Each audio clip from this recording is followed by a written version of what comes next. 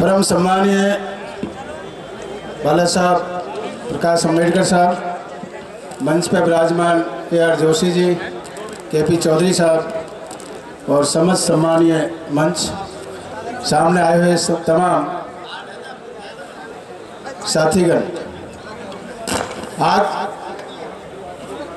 समाज बहुत संकट के दौर से गुजर रहा है और जिस संविधान को बाबा साहब ने बड़ी मेहनत से और लगन से बनाया था, उस संविधान के साथ छेड़छाड़ की जा रही है।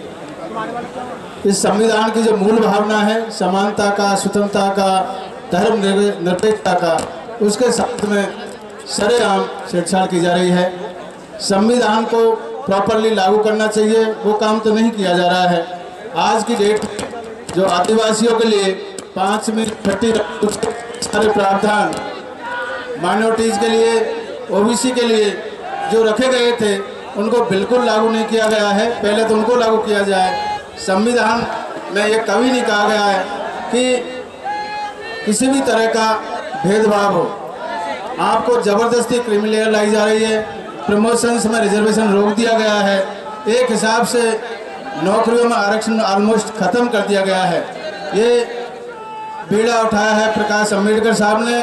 हम पूरा समाज, उनके साथ है, पूरा आदिवासी समाज, पूरा S T S C minority and OBC समाज। मैं इन्हीं शब्दों के साथ में ये चाहता हूँ कि ये आंदोलन पूरा स्टेट कैपिटल्स में डिस्ट्रिक्ट लेवल पर जाए, जिससे एक बहुत बड़ा मूवमेंट हो और जो साजिश संविधान को बदलने की चल रही है, उसको रोका जा सके।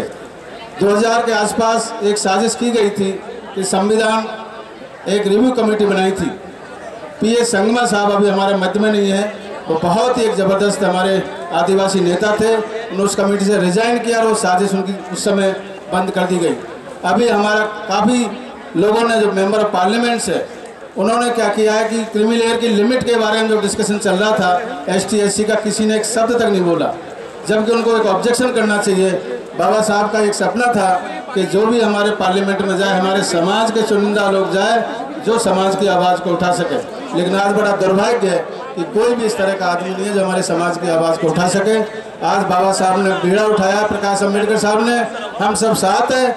हम एक बार सभी जय भीम का नारा लगाएँगे। जय भीम। जय भीम। जय भीम। जय ज्योति। जय बिरसा मुंडा। जय भीम। Thank you